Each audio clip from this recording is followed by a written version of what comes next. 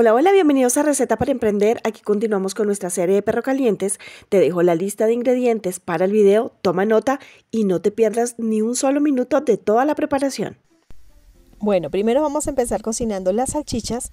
Recuerda que una vez ya estén cocidas, aproximadamente entre 3 a 5 minutos en agua muy muy caliente, vamos a retirar el plástico que está allí. Para este perro caliente vamos a preparar cebolla caramelizada. Picamos en julianas las cebollas, agregamos dos cucharadas de azúcar y comenzamos a revolver. Cuando ya esté la cebolla dorada, vamos a agregar una cucharada de vinagre, el cual va a ayudarnos a acentuar los sabores. Ya tenemos lista la eh, cebolla caramelizada, miren qué delicia, y el olor ni les cuento. Alistamos también nuestro maíz tierno, el dulcecito, el queso costeño rallado. Aquí sí ya es al gusto y también de presupuesto, como tú quieras manejarlo con tus clientes. Vamos a tostar la tocineta. Dejamos consumir un poquito, ya va botando un poquito de grasa.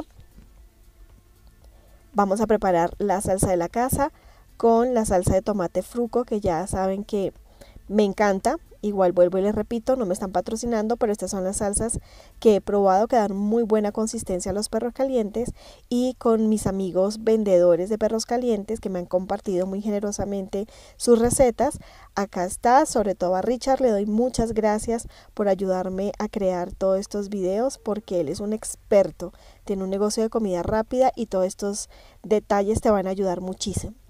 Entonces tenemos salsa tártara, paprika, mostaza y agitamos súper bien eh, porque es bastante, bastante, eh, eh, o sea, cuesta mucho que se integren todos los ingredientes. Tenemos también salsa de queso cheddar, esto es una delicia. Vamos a prepararlo, ya montarlo, nuestro pan preferiblemente que sea el bimbo que es más blandito y si no en el éxito también van a encontrar muy buen pan, la salchicha tipo suizo o que sea grande, una de las claves principales del éxito de un perro es sin duda la salchicha, eh, el maíz tierno que le da un toque dulzón junto con la cebolla caramelizada muy muy rica.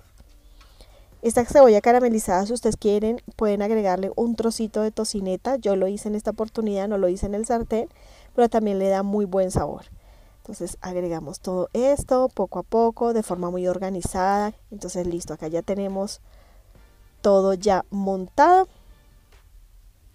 y viene esta delicia, esa tocineta tostadita. Sí, este sería el crunch eh, particular de este perro caliente, pero si la quieres blandita también es una muy buena opción de agregar.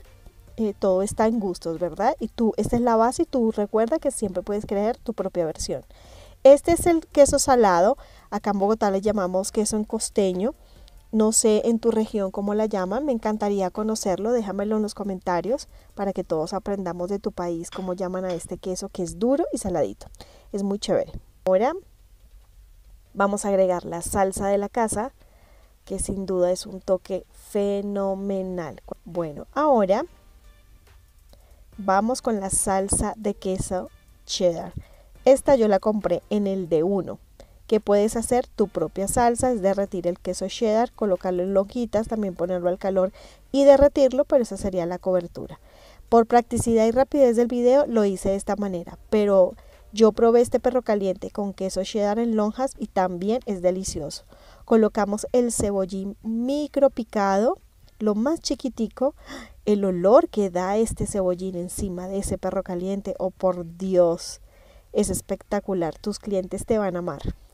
Y charán, ya quedó esta obra maestra.